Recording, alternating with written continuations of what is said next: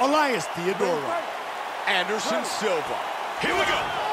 Fight scheduled for three five-minute rounds. One thing to be aware of in this fight are the counter strikes of and oh, jumping knee.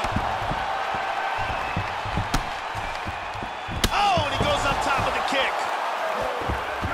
Nice jab.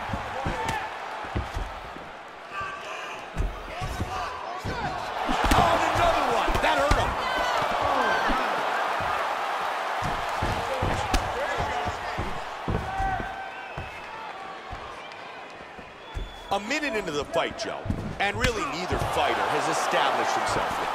Yeah, neither guy has really stepped out yet. Both guys are trying to figure out their opponent's distance and timing before they make a move. Nice right hand. Oh, oh, big right hand clipped him. Vicious That's it, that's it. It is all over. Wow! Beautiful knockout here early in the first. Once again, here's our fight replay.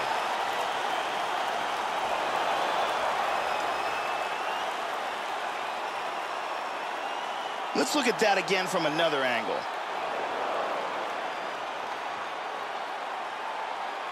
Great angle here. Boom! And then he's out. Bruce Buffer has the official decision.